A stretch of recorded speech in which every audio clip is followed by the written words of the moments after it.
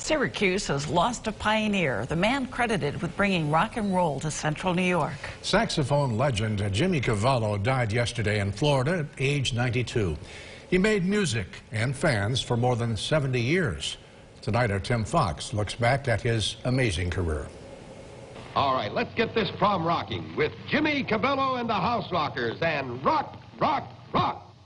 Grab your partner, grab your gal, and rock.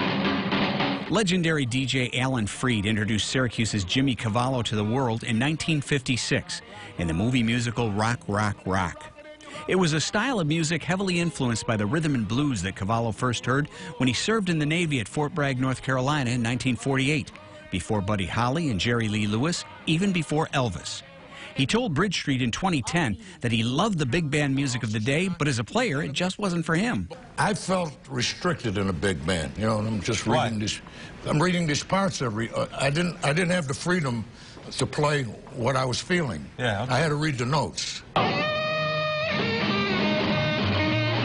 Jimmy Cavallo got his start with what was thought to be one of the first white R&B bands in the country, and he fronted the first all-white band to play Harlem's legendary Apollo Theater when Rock, Rock, Rock was released.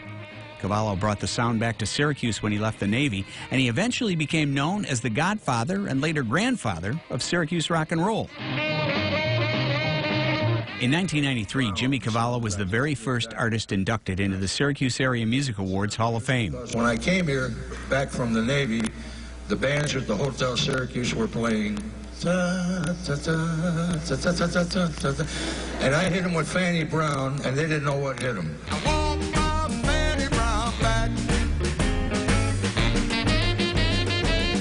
Later in life, Jimmy Cavallo shifted operations to South Florida, where he continued to play the saxophone past his 90th birthday.